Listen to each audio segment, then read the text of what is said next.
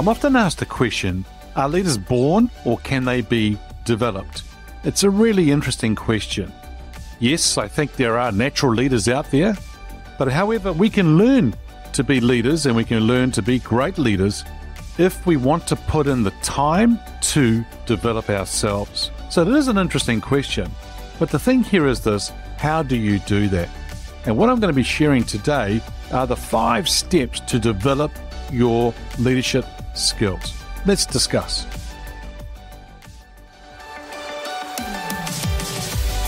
Welcome to Leadership is Changing. Each week, we and our guests provide information and insights through exploring leading change. This is taking your leadership to another level by finding the balance between executive excellence and personal well being through stories that inspire real change.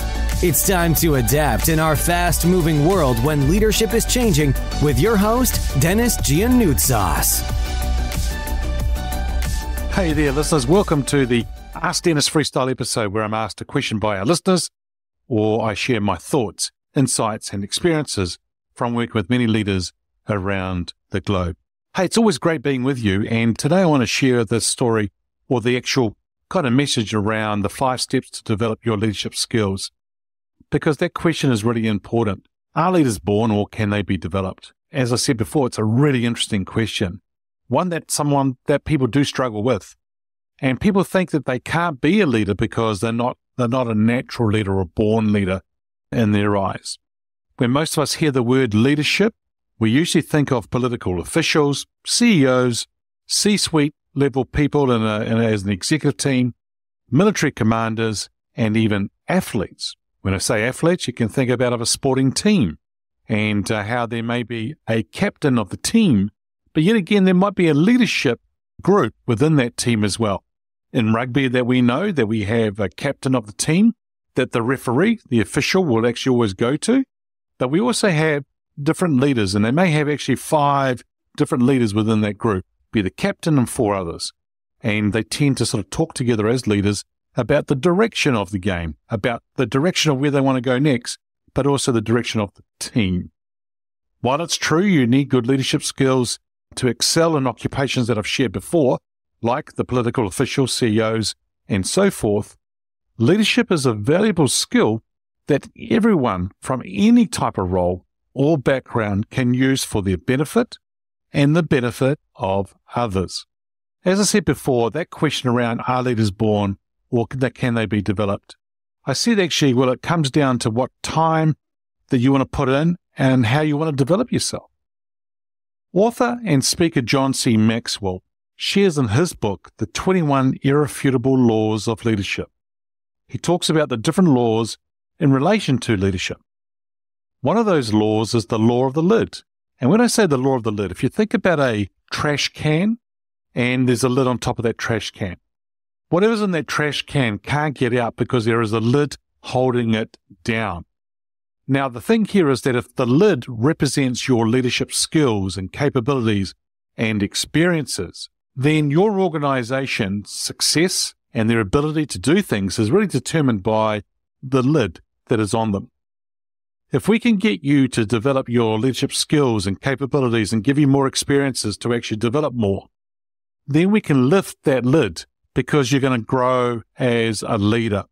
And as we lift that lid, it allows others below you to actually lift their game as well and actually grow in the organization. Have you ever heard of the terminology when the tide rises, all boats rise? It's the same here. If we can get you to develop your leadership skills and capabilities to lift the lid, then everyone else around you will actually lift as well. So that's just explaining a little bit about that law. If you want to check out that book, do check it out. It's the 21 Irrefutable Laws of Leadership by John C. Maxwell. John Maxwell has actually written about 80 different books and he speaks as well. And I've had the pleasure of meeting him several times, been to his house a couple of times and uh, in Florida in the US and a wonderful man who actually shares a lot of interesting insights around leadership and personal development as leaders. You see, for a lot of people, the effective leadership or being an effective leadership leader doesn't come naturally for most of us, right? It doesn't. However, there are several methods that you can use to build and refine those leadership skills to help you lift that lid. Now, what we only need to do is several things. One of them is we need to understand and discover the leader within you. And we need to try some different techniques to help actually boost your leadership skills. And here are some of them. Here are the five of them that I think. Number one would be for you to strive for excellence. You know, part of being a successful leader is your ability to set the bar for others. It's about how you can be a high performer, how you can have excellence and drive and strive for that excellence. You can be a really great uh, role model uh, by consistently seeking ways to improve yourself and aspire to excellence. Now, there's a key word there consistently. And I think what we need to do is we need to actually consistently do this and show up. You see, the hallmark of leadership is excellence. If you can work on honing on your existing skills and developing new ones, that'll be a great thing for you to do. I think the other thing you should do is actually look at and watch other leaders who are successful and learn from them, understand what they do really well. And the other thing in striving for excellence is that if you are consistently or constantly reading and listening and watching things, that's going to help develop you. Things like books, things like podcasts, white papers, articles, YouTube clips, videos. What I'm saying to you here is Newspapers could be another one through articles. Understand what's happening in the marketplace. Understand what's happening around you, but also understand what you need to do as a leader to develop yourself and grow. I've always gone and developed myself as a leader. I've actually invested myself in hundreds of thousands of dollars over time to actually go and, and be a great leader. Now, I'm not saying that you have to go out and spend hundreds of thousands of dollars. I'm not saying that at all. But there is things available out there.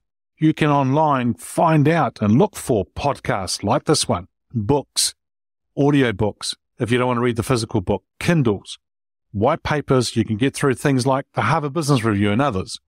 Articles, you can look at different newspapers, but if you Google things and search for things, you'll be surprised on what you can actually find. So number one there was strive for excellence. Number two is focus on your vision and then set goals around that. It's your vision that I'm talking about. Your vision around what you might want to consider and accomplishing in different areas of your life in your role as a leader. And then what I think you should do is then set some goals around that to help you achieve that vision. I think if you can think about the leader that you want to be, where you are today and understand the current state or where you are but then the desired state or the end picture where you want to end up and be the, that kind of, you know, that vision of that leader you want to be, one that you want to be known as, one that you want people to talk about and say, this is the kind of leader that person is, then I think you need to start thinking about certain things. To help you focus on your vision and set goals, I would actually set goals that you can measure and work on that are going to help your performance and your progress and your activity. One thing I would say to you around that is just make sure that they are goals and they're not tasks. Now, what do I mean by that? Some people say to me, Oh, I've set my goals for the year or I've set my goals for the month. I go, Great. What are they? Show me. And they show me, but they're actually tasks. They're not actually goals. You see, if you set the goal, the action plan, the tasks are the things that actually help the goal happen. Don't get mixed up between the two. Because you see, if it's just tasks, it's really interesting. Here's a clue to help you understand what you might need to do or understand if it's a goal versus a task. I ask people this question Is this goal, do you know how to get to this goal? In other words, do you know how to achieve it? If the answer is yes, then I just say, then it's a task. If you don't know how to achieve your goal, yes, you're going to work on it, you're going to put plans together and so forth, but you don't know if it's actually achievable because it's actually could be a stretch or whatever, then that is a goal. The other thing I would say under focusing on your vision and setting goals is actually break up the larger goals into smaller ones. So then you're doing bite sized kind of things. Remember to celebrate your successes and also maintain your motivation. Those success things that I talk about, about celebrating them, are really, really important for all of us to think about and do as individuals. The other thing to help you around that whole area of actually developing your focus and vision setting goals is learn to identify and use all resources in the pursuit of your goal. Now, those resources could be anything. It could be people. It could be tools to help you do that. Whatever it is, could be finance. Now, when you make your plans to reach your goal, always work with the resources you have in your current circumstances rather than developing plans based on circumstances or resources that are sort of ideology and may not get there. Now, don't get me wrong. What I just said before is that as long as the goal is big and you may not know how to get there. So you may need to go and find other resources that are available to you to help you reach your goal because you still can go out and find those resources. That's why it's important. And the other thing I would say here is be willing to refine those plans and those goals based on the progress that you're moving towards your dream or that goal. Now, the thing I would say here is that dreams and goals can be actually set in cement, but the plans around those things are what I call in sand. And we can actually review and reflect on those things and adjust as you see fit. So the thing here is that second area is to focus on your vision and set goals. Number one was strive for excellence. All right, let's go to the third item. The third item is to develop your people skills. Now, we're talking about leadership skills, but we're also talking about your people skills. See, leaders are known for their ability to inspire others to work towards a common goal. For some leaders, they think that we are there to motivate people. We should be hiring motivated people, and our role as a leader is, to, is to inspire them. To be successful at inspiring others to work with you, I think it's really important to develop your people skills and emotional intelligence. Here are some aspects within this to talk about here to help you do that. Learn how to listen. Doing this is really going to help you establish a connection and build rapport and trust. So others are more likely going to follow your lead and help you. Building that rapport and trust is really important. It takes a while to actually build rapport, credibility, and trust. But you know what? you can lose it within seconds if you're not careful. People don't care about you or your title, whether you're a leader, manager, CEO, whatever. They don't care what that is. What they want to know about and what they do care about is that you care about them, that you have an interest in them, that you listen to them, and that you're actually present with them and you accept who they are.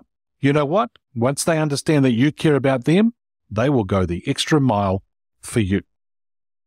The other thing I would say around this whole area is about helping others to be their best. That's part of our role as a good leader, is motivating others towards positive change. In fact, we need to lead them through that change and bring people on the journey. I remember at times when people have got upset because people have gone ahead and resigned from a role. And all I would say to them is, isn't that our role? And isn't that our role as a leader to actually help develop people and give them opportunities to grow? So then they go off to go and do other things.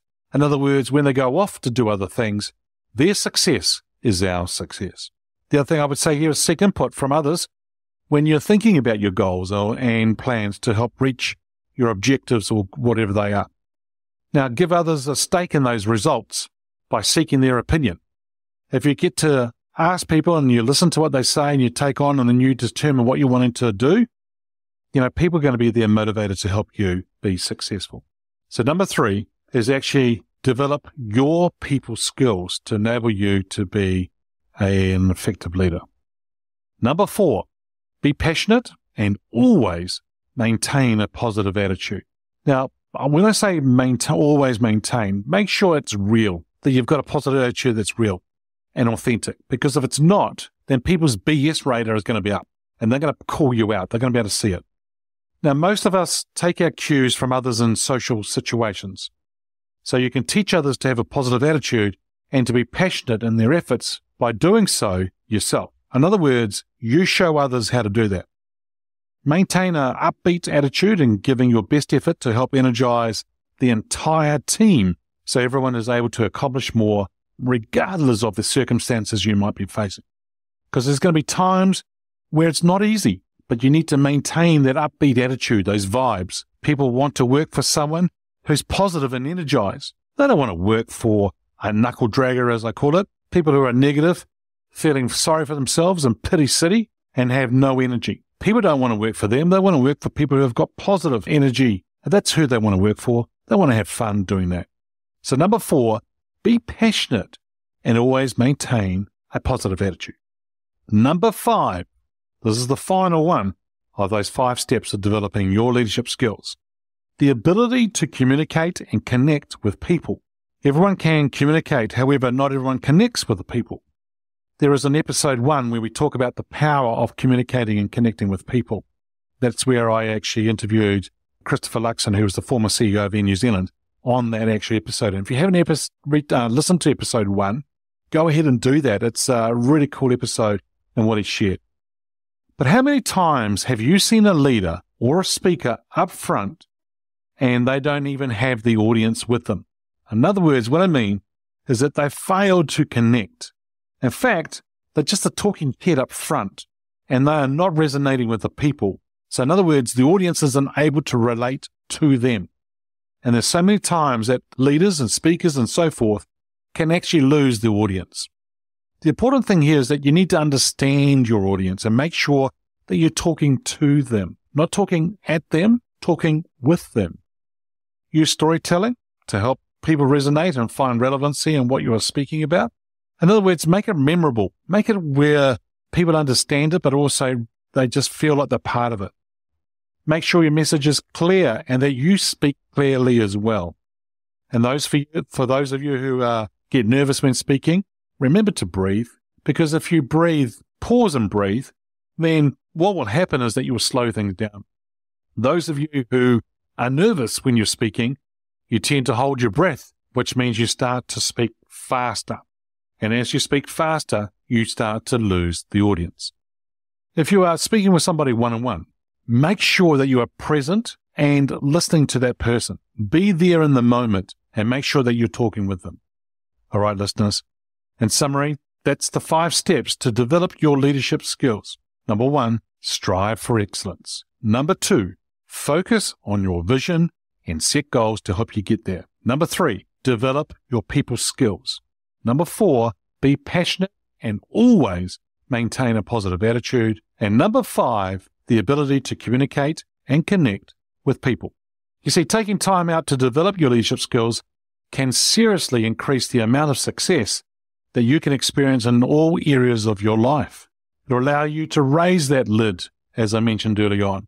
You will help others to lift their game as well. And you're going to be a more effective and impactful leader.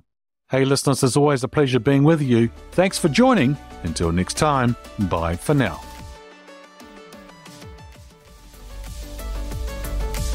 Thank you for listening to this episode of Leadership is Changing with your host, Denis Gianoutsos.